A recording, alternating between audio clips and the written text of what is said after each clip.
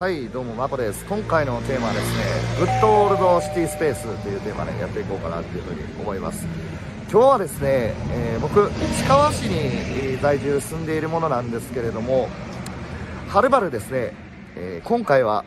なんと徒歩でね、えー、江戸川をついに、え横断しまして行徳、ね、地下鉄東西線のですね妙典駅の近く行徳の地方に来ております。ちょっとね周りはこんな感じなんですけどね。すごくねここら辺に来る際もですねあのイメージとしてはね民家というかあの和風の民家がいっぱい立ち並んでてすごくレトロでなんか古風な感じの街並みかなっていう風なイメージですね。でなんか来るまでにねあの神社とお寺が3軒もあってねすごく面白かったんですよね。ちょっとカメラ切り替えますね。はいじゃあちょっとね、えー、歩いていきたいなっていうふうに思います。これがあ本行徳の寺町通りっていうところですかね。こういうなんか見た感じとかもねすごく一軒家のね戸建ての民家がすごく立ち並んでいるかなっていう風なイメージですね。で今こっちに歩いている方角があの地下鉄東西線の妙典駅っていうところ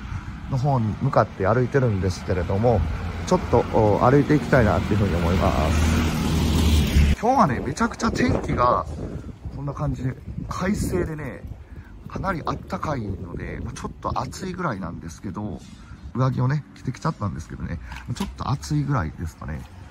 こんな感じで。ね、あの、盆栽とかもね、いっぱい見受けられますね。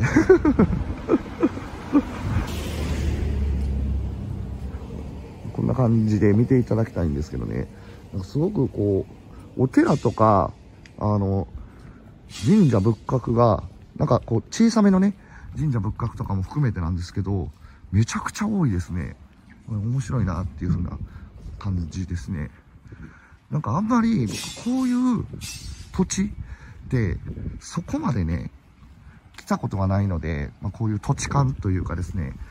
なんかすごく民家が立ち並んでいる土地勘って、まあ、あんまり来たことがないので、ちょっと新鮮な感じですね。ちょっとご覧いただきたいんですけど、こんな感じでめちゃくちゃありますね。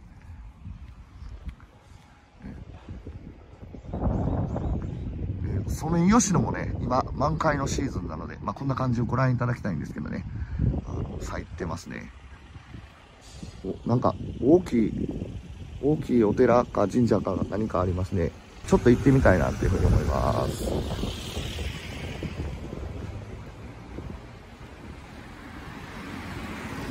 はいじゃあですねお寺の方に到着いたしました。で、えー、ここはですね海岸山徳岩寺という場所になります。もともと江戸時代、ね、えー、徳川家の時代の際にえ、勝岩寺の徳と、あとは徳川の徳を、まあね、願って、えー、作られたお寺みたいです。ここちょっと入っていいんかなと思うんですけどね。まあ、でも大丈夫やと思うんで行ってみたいなっていうふうに思います。だいぶね、桜もいい感じに満開に咲いてますし、ね、こっち側サイドはね、松の木が、ま、立っていて、すげえいい構図やなっていうふうに思いますね。ここすごく、めちゃくちゃいい場所ですね。もう人通りとかもすごく少ないので、めちゃくちゃ気分転換になりますね。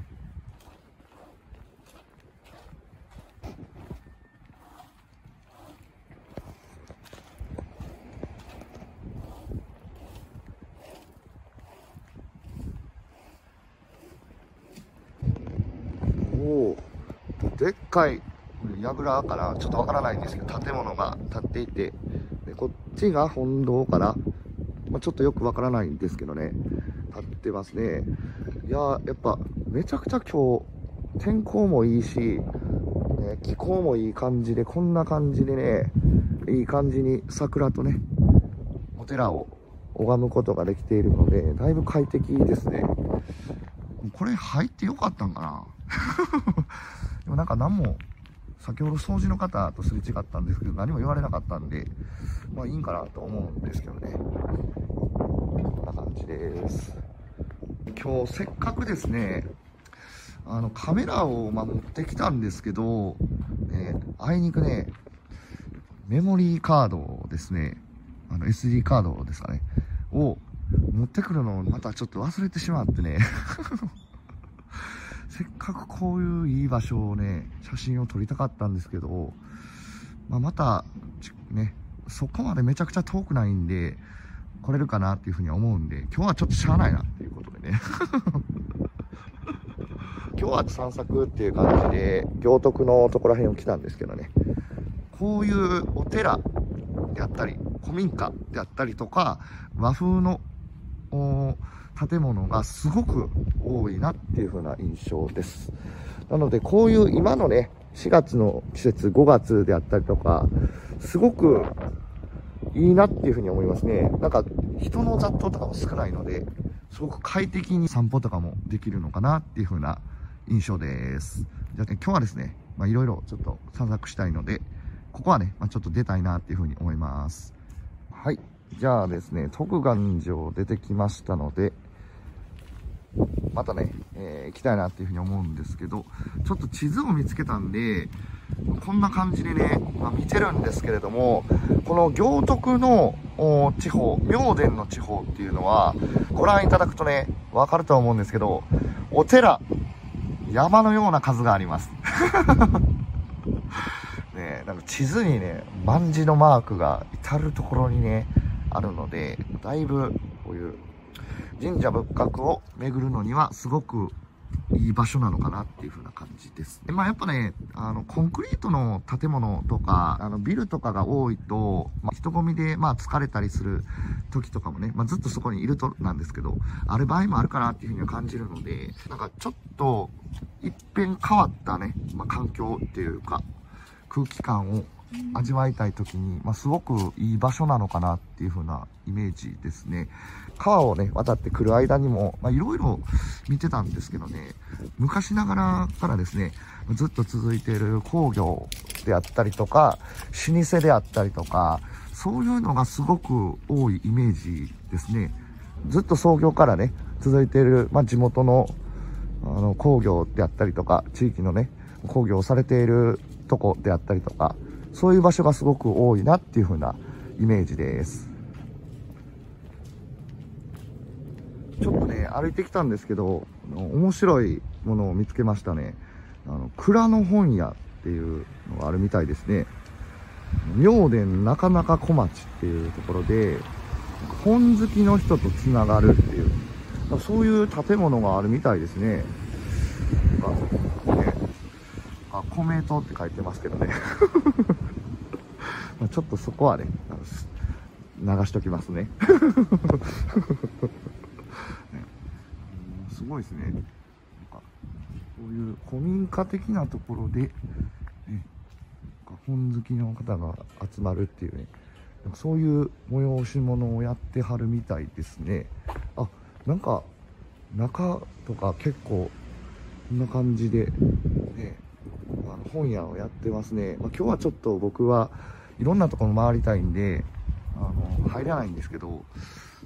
ね、なんかやってはるみたいですね。なんかそういうのを改装して、本屋の古本であったりとか、そういうものを集めて催し物をされているみたいですね。まあ、ちょっと憶測になっちゃうんですけどね。まあ、こういう面白そうな蔵の本屋っていうところを見つけましたね。こういうのも結構面白いですよね。なんか本好きの人とかが集まるとかね。なんかやっぱそういう趣味でなんか集まったりとか、好きなもので、なんか集まったりするのって仲良くなりやすくなったりするじゃないですか。そういう催しをされているってのは、まあ、なかなか素晴らしいなっていうふうには思います。ここら辺ね、あの、小道がすごく多いんですけど、やっぱ結構ね、自動車っていうか、交通量がそこそこ多いなっていう風なイメージですね。だいぶこんな感じで、車の出入りがやっぱ結構多いなっていう風なイメージですね。今日は、ね、暖かいですし、気温もね、結構外出されている方もそそこそこいるのかなっていう風な印象です。はいじゃあですね、えー、妙典駅の付近ですね、えー、地下鉄東西線の妙典駅の付近に来ました。もうこっちに入ってくるとだいぶですね市街というかねこんな感じ。こういうイオンモールが建ってたりとか結構市街地になってくるのかなっていう風なイメージですね。なのでなんかここら辺もだいぶ立地的には住みやすい場所なのかなっていう風なイメージですね。すごく神社仏閣が多いし、まあ、こういったショッピングモールであったりとかも多いので、まあ、住みやすい場所なのかなっていう風なイメージですね。でまあ駅も地下鉄が近場にあるしっていうところで。結構こうのほほんとした場所ですね。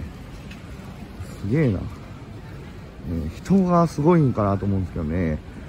自転車の数がすごいな。ねあの僕住んでるところがね元八幡っていうところに住んでるんですけど、まあ、元八幡もね大概駐輪場がかなり多くて自転車がねやっぱ毎朝その通勤されてる方が多いので自転車の数がやっぱすごく多いんですけどここも大概やばいな。ねすごいなと思うんですけどね。それだけやっぱね移動する人が多いのかなっていう風なイメージです。あの都内とかねそっちの方に移動されている方であったりとかそういう方がすごく多いのかなっていう風なここいらの地域のイメージですかね。はいじゃあですね下鉄東西線の妙典駅前に着きました。イオンモールがデカデカと立っているんですけれども方角的にはですねあのこっち？こっちの方面があの浦安市の方面ですねあのあれですねネズミのテーマパークがあるところですね。でこっちがえー、線路渡ってずっと向こう側が江戸川区の都内の方面になります。えー、あこっちがね、江戸川っていうか、僕が来た方角なんですけれども、まあ、そんな感じで、えー、だいぶ、駅前はやっぱりいろんなものがありますかね。ここら辺の、まあ、妙殿であったり、ね、あの行徳の地域っていうのは、なんか野鳥がたくさんいるっていうことで有名な場所みたいなんですけど今日ちょっとねいかんせんカメラをねちゃんと準備してくるの忘れたので。まだねここら辺の地域なんか結構面白い場所でいろんなものがあったのでまたまたなんか散策っていうか物色みたいな感じで野鳥をね、ままた今度なんか野鳥へみたいな感じの企画で動画を撮れたら撮ろうかなっていうふうには思います。ね。まあ、やっぱなんか野鳥はなんか川沿いであったりとかあの公園的なところに行かないと多分見れないと思いますしあとはなんか時間帯によって鳥の活動とかって変わってくるとは思うので見受けれる時間帯が結構変わってくるのかなという感じなんで今日はね昼前ぐらいに起きて、ね、夕方頃にこちらの方来てますのでまた面白いもの見つけれたら、えー、ここら辺は